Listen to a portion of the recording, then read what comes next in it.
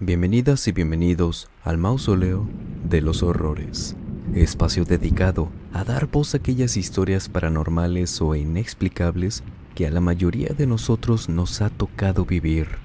Experiencias en las que no sabemos exactamente qué fue lo que vimos, escuchamos o pasó, pero nunca se nos va a olvidar cómo nos hizo sentir aquella experiencia, ya sea miedo, confusión, angustia, o calma. Lo que sí sabemos es que eso que sentimos fue real. Y ya que estamos aquí, permítanos acompañarlos durante cualquier actividad que estén realizando o pónganse cómodos. Vamos a desconectarnos un ratito del estrés y de la prisa del mundo exterior. Y mejor, preparen y acompáñenos con la bebida de su preferencia para transportarnos directo a cada sitio donde toma lugar cada uno de los relatos de esta noche. El día jueves 19 de septiembre del año 1985, un sismo que alcanzó la magnitud de 8.1 grados en la escala Richter pudo sentirse en varias partes de México, siendo la capital, la Ciudad de México, por supuesto, uno de los lugares más afectados por este evento natural este desastre no solo dejó daños a un grado que no se habían visto hasta entonces en la ciudad, daños severos a edificios, los cuales muchos se derrumbaron por completo, calles que quedaron inservibles, casas, puentes, pasos a desnivel, por solo mencionar algunos ejemplos, hablando de estructuras. Pero lo irreparable, lo irreversible. Lamentablemente hubo muchas personas que, ese mismo día, abandonaron este plano. Gente que perdió la vida estando dormidos aún, sofocados bajo los escombros de hospitales, edificios de alguna empresa, negocios, oficinas, unidades habitacionales. Todos esos techos ahora se habían convertido en tumbas. En las calles el aire hacía que el polvo de cada uno de los edificios ahora derrumbados transportara polvo, papeles de algunas oficinas, que los gritos de las personas recorrieran cada calle, intersección, avenida, todo era una mezcla de emociones muy negativas. Tristeza, desesperación, incertidumbre, impotencia, ataques de pánico, ataques de ansiedad, estados de shock, quiebres emocionales que cambiaron no solo la vida de cada una de las personas de aquellas ciudades, sino la historia e imagen de México. Precisamente los días 19 de septiembre, que no solo se repitió en el año 2017, de igual manera un sismo que dañó gran parte de la humanidad de aquella ciudad, muy catastrófico, sino que también, ahora en pleno año 2022, otro sismo de menor medida, afortunadamente, pero no deja de recordarnos que esa fecha no se debe olvidar. Hay que ser precavidos porque aún y con la probabilidad tan baja como lo es que tiemble el mismo mes, el mismo día, 19, ocurrió. Todos esos eventos tan lamentables y dolorosos para México nos dejaron relatos, los cuales a día de hoy es lo que nos reúne en este espacio. Y como saben, esta es una de las maneras de rendir homenaje a todas las personas que nos dejaron en el camino en aquellos sucesos. Les mandamos un fuerte abrazo a todas las personas que vivieron en carne propia los eventos, no solo de aquellos años, sino los de este mismo, 2022. Sepan que estamos con ustedes al pie del cañón para lo que se llegue a necesitar y que esperemos hayan bajado los nervios que nos deja recordar y vivir esas fechas. Y entonces, los dejamos con los relatos de esta noche. Katia Elizondo nos hizo llegar este relato a través del correo electrónico. Mi abuela me contó que unos días después de aquel sismo del 85, ella vivía casi a los límites de la delegación Cuauhtémoc, desde su unidad habitacional, la cual afortunadamente no sufrió daños más allá de cuarteadas severas pero reparables. Todo el día, por las tardes y noches, podía escuchar y ver los labores de rescate que llevaban a cabo las personas en unos edificios cercanos que lamentablemente sí se habían derrumbado. Me contaba que, por las noches, ella salía a sentarse a un pequeño balconcito que compartía con sus vecinas. Esto porque de plano me decía que no aguantaba la desesperación que en esos días se sentía en toda la ciudad. Batallaba para dormir, y sus vecinas también, por lo que salían por las noches a platicar para intentar calmar los nervios. Me cuenta que, una de esas noches, estaba sentada junto a la vecina que les comento, y ambas vieron que en uno de los edificios que estaban derrumbados pero que al ser pequeño la parte superior estaba casi intacta pero reposando sobre los escombros. Cómo personas abrían y cerraban las ventanas. Ella dice que aquel edificio eran departamentos, por lo que sí se veía claramente que eran ventanas de sitios donde vivía gente. Los rescatistas estaban repartidos por varios edificios en grupos, cada quien encargándose de uno por la zona. Y decía mi abuela que veían cómo en ese edificio solo estaban rondando los rescatistas, mientras que las ventanas de varias partes de arriba del edificio se abrían, se cerraban. De repente veían que en el último piso se abría una ventana de golpe luego dos pisos abajo y de repente se cerraba otra, pero que no veían a las personas tal cual, completas, vaya, para saber si eran hombres, mujeres, niñas, niños, adolescentes, solo alcanzaban a ver los brazos saliendo desde el oscuro de esas ventanas para cerrarlas o abrirlas. La vecina de mi abuela fue quien tomó la iniciativa para ponerse de pie y decirle a mi abuela que fueran para dar aviso a los rescatistas que ni se habían dado cuenta de ello. Estaban resguardando ese edificio esperando que amaneciera, llegara más equipo con alguna luz para poder entrar y rescatar a la gente que faltara o no sabían qué estaban haciendo. Pero ni volteaban a ver hacia esas ventanas. Cuando caminaron unas cuadras llegaron con ellos, dos jóvenes, y les cuentan lo que estaban viendo. Tanto mi abuela, su vecina, y los rescatistas voltean hacia arriba para ver de cuáles ventanas estaban hablando. Y en efecto, ahí estaban esas ventanas abiertas, algunas, otras cerradas, y uno de los jóvenes les dijo,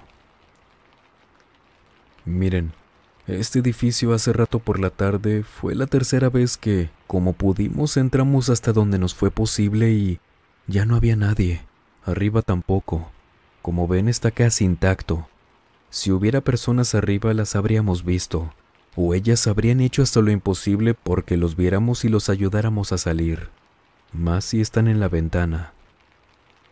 Claro que esto nos lo dijo de una manera amable, la vecina de mi abuela, un poco molesta, comienza a reclamarles que cómo era posible, si ellas claramente vieron eso, que allá arriba habían personas.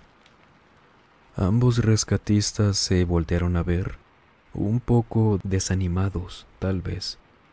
Y el otro, quien se veía un poco mayor que el otro joven que les había explicado esto, les contesta. Vengan, vamos a apartarnos un poquito. Como les mencionó mi compañero, hace rato por la tarde entramos por última vez. Lamentablemente recuperamos cuerpos sin vida que ya fueron llevados a sus sitios correspondientes. Personas también que alcanzamos a salvar. Pasamos lista con los residentes de esos departamentos y, al parecer, todo está en orden. No nos falta nadie. Y esto guiándonos por la lista que nos dieron los vecinos. Desde ayer al igual que ustedes, hemos estado escuchando y viendo también cómo se abren y cierran esas ventanas. Las primeras veces que vimos eso entramos, solicitamos más personas incluso. Vinieron y como pudimos nos aseguramos de que ya no había absolutamente nadie en el edificio. Incluso subimos al edificio que tenemos aquí al lado para ponernos a la altura de esas ventanas, pero no hay nadie. Todo está desalojado ya. No sabemos qué es, señoras, pero vivos ya no son. De igual manera, por eso seguimos aquí. Y si escuchamos, no crean que no. Cómo se azotan esas ventanas. Y lo he visto. Mi compañero y yo también vimos cómo sacan los brazos de esas ventanas. así que el aire no puede ser, pero tampoco una persona. Mi abuela dice que se lo contaron muy serios. No eran épocas para bromear tampoco con ningún tema relacionado a eso, así que se quedaron callados mientras veían hacia arriba. La vecina de mi abuela le sugiere a los jóvenes que, si creían en Dios, rezaran por las almas de esas personas. Le agradecieron la sugerencia, se despidieron y se fueron de ahí. Mi abuela y su vecina se fueron esa noche a dormir. Dice que ella no sabe por qué, pero lejos de asustarle, esa experiencia le dio un poco de calma esa noche. Le ayudó a dormir y dedicó sus oraciones a quienes veía abrir y cerrar las ventanas de aquel edificio por las noches. Y sí, cuenta que al día siguiente, y a partir de ese entonces hasta que demolieron y limpiaron los restos de ese edificio, no volvió a ver más aquellas ventanas moverse. Un relato con unas vibras extrañas al inicio, por imaginar aquellos brazos saliendo desde las obscuras ruinas de las ventanas de ese edificio. Pero luego, entender qué pudo haber sido nos cambia por completo la perspectiva sobre ello. ¿O a usted qué le ocasionó escucharlo? Coméntenos mientras nos vamos con el siguiente relato de esta noche el cual nos fue compartido por Patricio Treviño desde la alcaldía de Iztapalapa, precisamente en una zona más que interesante. Al igual que yo, muchas familias fuimos afectadas por el sismo del 85. Lamentablemente perdí mi casa. Vivía en un pequeño edificio que a causa del sismo sufrió daños que de plano no se iban a poder reparar en mucho tiempo. Por esta razón, Viví un tiempo con mis padres en lo que, como nos habían prometido, nos iban a compensar a quienes habíamos sufrido pérdidas de este tamaño. Pasó el tiempo y por fin me dieron solución. Me llamaron y me ofrecieron que, si yo quería, podía trasladarme a unas nuevas viviendas en Iztapalapa, una zona donde antes estaba deshabitada y ahora la habían dedicado a esto. Acepté y aunque no me gustaba la idea, más que nada porque la zona sí era muy distinta a lo que yo estaba acostumbrado, pero bueno, tampoco me podía dar el lujo de quedarme esperando por alguna otra opción. No podía pagarme en ese momento otra casa. Rentar tampoco era una posibilidad, y me mudé para allá. Si bien mi nueva casa no era tan grande, sí era cómoda. La colonia donde vivía también.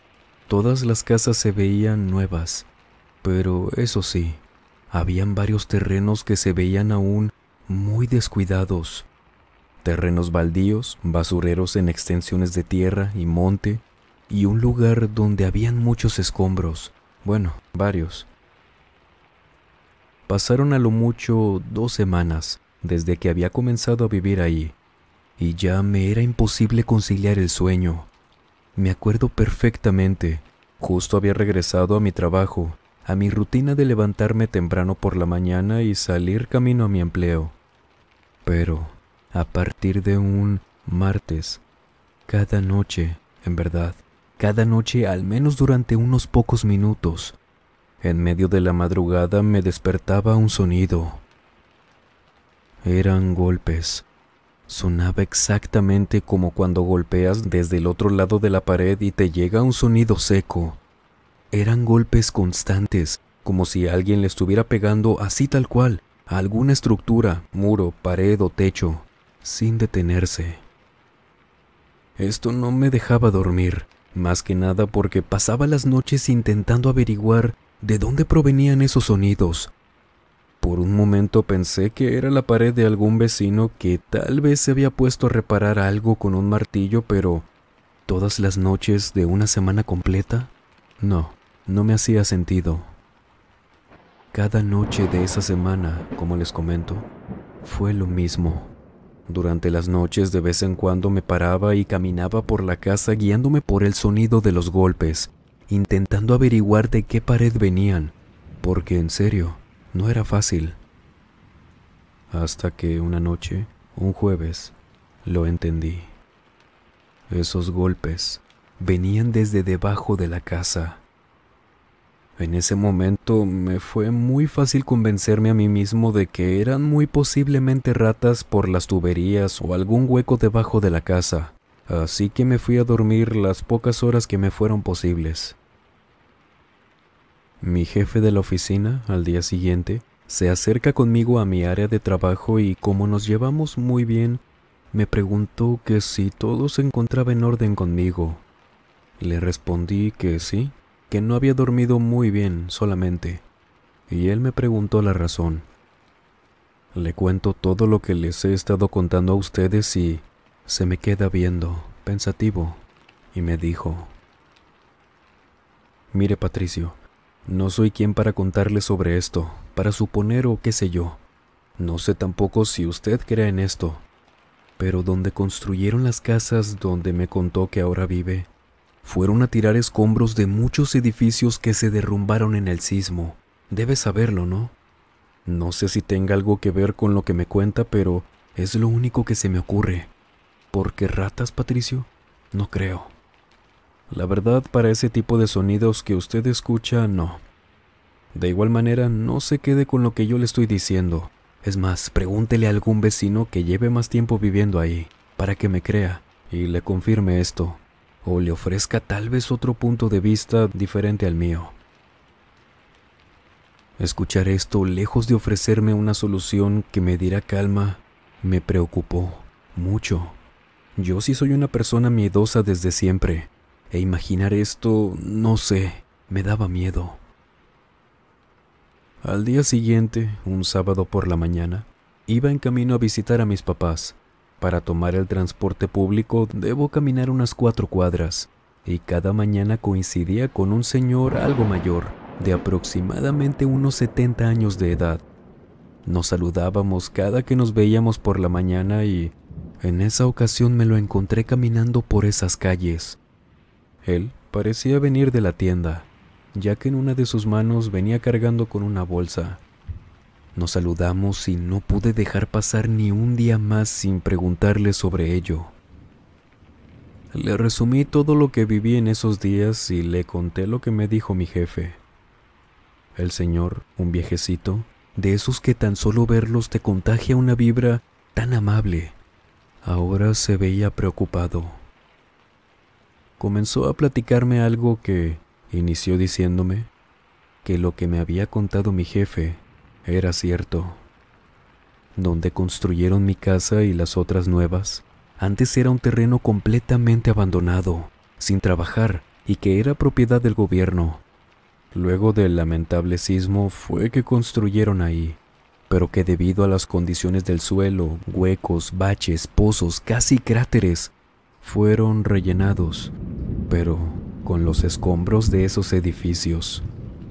De hecho, me preguntó si había visto un terreno, me dijo la dirección y todo, y le contesté que sí, que sí lo ubicaba y, bueno, me dijo que eso incluso antes era un barranco, profundo, pero que con los escombros lo habían tapado casi por completo. A todo esto podía darme una idea hacia dónde iba el asunto, y luego me dijo que esos escombros no eran solo pedazos de construcciones, sino que llegaron a encontrar en muchas ocasiones huesos humanos, de brazos, piernas, torsos, de todo tipo. Incluso en alguna ocasión en trabajos de construcción, a él, un vecino le contó que pudo ver cómo entre los escombros sacaban un cráneo. Y esto no es mentira, en verdad sucedió. También me contó el señor que no era la primera persona que le contaba cosas de este tipo. Algunos otros vecinos, exactamente luego de que comenzaran a vaciar esos escombros, comenzaron a ver cosas que antes no pasaban en sus casas. Sombras que pasaban de un lado para otro, escuchaban voces, les movían cosas. Incluso una señora le contó que en varias ocasiones vio a una niña jugando y brincando en ese terreno que antes era un barranco que nadie se atrevía a ir por ella porque era muy peligroso caminar en aquel entonces sobre los escombros por lo inestable de la tierra, pero que ella, junto a su hijo, la vieron una noche. Le gritaban para que se acercara con ellos, para que saliera de ahí. Nunca antes la habían visto por el vecindario, pero la niña nunca los volteó a ver. El señor, con pena o vergüenza, como si tuviera que limitarse a lo que me iba a contar, me dijo que probablemente esos ruidos que se escuchaban debajo de mi casa eran las almas de quienes lamentablemente habían quedado atrapadas en aquellos edificios derrumbados y que seguían ahí pidiendo ayuda. Me dijo también que algunos vecinos habían excavado en sus casas y, en efecto, habían encontrado restos óseos en sus terrenos, que esto tal vez podía ser yo, para que descansaran de una vez esas almas al haber sido encontradas. Y no les voy a mentir, sí me negué rotundamente en un inicio a hacer esto, ya que implicaba un trabajo en mi casa que yo no quería hacer, pero terminé accediendo, una vez que, esa misma noche, de nuevo, esos golpes debajo de la casa. Al saber de dónde provenían, esa noche me fui a casa de mis padres. Ahí le pedí al hermano de mi padre, mi tío, quien es albañil, si podía hacerme ese trabajo, y él accedió. Esos días me los pasé en casa de mis padres. No quise saber nada. De hecho, le dije a mi tío que si encontraba algo no me contara. Que por mi parte, iba a rezar por ellos, pero no me quería ni enterar. Y así, luego de una semana y unos días regresé a casa, y a partir de ahí no volví a escuchar nunca más esos golpes. En este mismo correo, Patricio nos comentó que mucha gente le ha confirmado haber vivido esos sucesos de esta índole en esos terrenos. Pero cuéntenos, si usted conoce o ha escuchado alguna vez sobre esos eventos, precisamente en esa parte de Iztapalapa. Mientras hace memoria y nos cuenta, nos vamos con la siguiente experiencia de esta noche. ¿Les parece? Este relato nos fue compartido por Antonio Quiroga, un bombero ya retirado hace un año, quien vive en la Ciudad de México y, quien nos cuenta, formó parte de la primera línea de rescate en aquellos eventos del 85. Y lo que nos cuenta es lo siguiente. Es muy difícil para mí recordar esos eventos sin sentir un nudo en la garganta. A pesar de mi formación, los llamados a los que acudíamos, creo que nada nos preparó para ver muy de cerca lo que es que un edificio entero caiga sobre las calles, las avenidas, las banquetas, las personas. Como saben muchos, los labores de rescate por parte no solo de bomberos, sino voluntarios, rescatistas, de todas partes, no se podían hacer esperar a descartar otros posibles peligros. La diferencia entre la vida y la muerte eran apenas de segundos. No podíamos esperar, pero tampoco podíamos mandar a los menos experimentados a esos terrenos, en donde a veces era más difícil salir con vida que al revés. Las posibles réplicas de los sismos en la ciudad lo inestable de los edificios que no sabíamos si iban a durar de pie un minuto más, diez minutos, horas, días. Aún así debíamos entrar lo que nos fuera posible para intentar rescatar a todos los que pudiéramos. El relato que les quiero compartir es uno de los tantos rescates que pretendíamos hacer. Si gustan que les comparta otros relatos, pero no del corte paranormal, sino cómo fue que vivimos uno a uno esos rescates, Háganmelo saber, con mucho gusto se los platico. Nos estaba cayendo ya la noche, los detalles de los rescates anteriores, de las decepciones que nos llevábamos en ocasiones por encontrar a gente sin vida, ya me habían dejado muy agotado emocionalmente. Claro que no me podía detener a llorar, a desahogarme, porque había mucho trabajo que hacer. Ya habría tiempo después para eso. Y esto lo comento por algo que les contaré más adelante. Me encontraba realizando trabajos de rescate en un edificio de algunos tres pisos, en la delegación Benito Juárez. En mi equipo éramos unas 10 personas en ese momento. Ya llevábamos un buen rato saliendo, entrando en la construcción, con sumo cuidado porque aún quedaba una planta que estaba sostenida por apenas unos muros. En cualquier momento se nos iba a venir abajo, por lo que las labores al menos en ese edificio eran lentas, pero sin descanso, minuciosas en cada paso que dábamos cada integrante del equipo. Casi creo que debíamos reportar cada paso que íbamos a dar para que todos estuvieran atentos. Cuando estábamos a punto de terminar con ese edificio, asegurándonos de que ya habíamos encontrado a un buen número de personas con vida, heridos y otros lamentablemente sin vida, que Dios los tenga en su santa gloria. Estábamos a punto de tomarnos un descanso y suspender las labores de ese rescate debido a la escasez de luz, cuando Dentro de ese edificio, entre los escombros de las plantas inferiores, debajo del piso que aún no se derrumbaba, en la oscuridad apenas alumbrado por las luces de una patrulla, veo a un niño de aproximadamente seis años, de pie, viendo hacia los escombros debajo de él. En eso y al darme cuenta de que yo era el más cercano, considerando que mi peso podía hacer más estragos si entraba ya a este punto, aquel que no pesaba mucho porque aparte era un niño muy delgado, y así no había más riesgo de que se nos viniera de repente el resto del edificio encima. Me acerco rápido a las orillas de la estructura y comienzo a hablarle. Le grito, le hablo, le chiflo, de todo para que me volteara a ver, pidiéndole que saliera de ahí, que se acercara conmigo y lo pondría a salvo. En lo que estuve intentando que me hiciera caso duré menos de un minuto. Tampoco podía quedarme esperando. Supuse que él estaba en shock. Comencé a entrar al edificio y Hernán, un gran compañero de esa base de bomberos de toda la vida, me toma muy fuerte del brazo y me detiene. Lo volteo a ver y apenas le iba a explicar qué es lo que estaba pasando cuando veo que él también estaba mirando exactamente a donde estaba ese niño, y sin perderle la vista ni un segundo, me dice, sin soltarme del brazo, él estaba temblando, se los juro. No, Antonio, no entre. A ese niño lo encontramos hace rato debajo de los escombros. Ya no estaba vivo. Seguido de eso, se persigna y me jala un poco más fuerte para apartarme de ahí.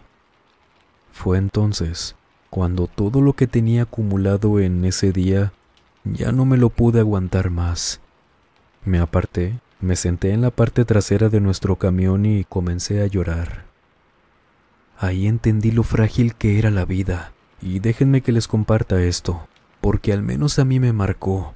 No dejé de trabajar como bombero, como rescatista, porque precisamente estábamos ahí por eso, para no perder ni una sola persona más. Pero había casos por los que no podíamos hacer nada más que pedir por su descanso eterno. Damas y caballeros, esperemos que estos relatos les hayan acompañado y los haya llevado a pensar que, como humanos siempre y cuando algún estado, país o persona lo necesite, hay que extenderle la mano hay que ayudarnos los unos a los otros.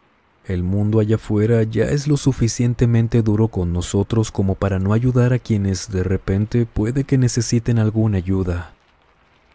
Este video va dedicado a la memoria de quienes perdieron familiares, amigos, parejas, conocidos, colegas, compañeros, mascotas, aquellos quienes ya no recuperamos ni con todo el dinero del mundo, pero que quedan para siempre en nuestra memoria y que su historia se va a seguir contando a lo largo de las generaciones. Les mandamos un muy fuerte abrazo. Y damas, caballeros, queremos recordarles que acabamos de estrenar un nuevo video en el canal de Misterios de la Fogata, igualmente de terror. En esta ocasión visitamos una hacienda abandonada en medio del desierto donde ocurrieron tantos hechos. Se cuentan historias, leyendas, relatos, Sería un placer que nos acompañara por allá, ya que al igual que estos videos, los produjimos con mucho cariño y dedicación para ustedes. El enlace, como siempre, lo dejaré en el primer comentario. Y de antemano, muchas gracias por su apoyo.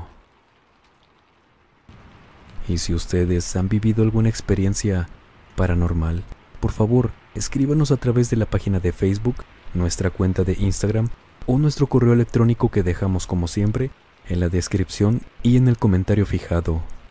Y sin más por agregar, les mando un muy fuerte abrazo. Nos vemos en el próximo video. Buenas noches.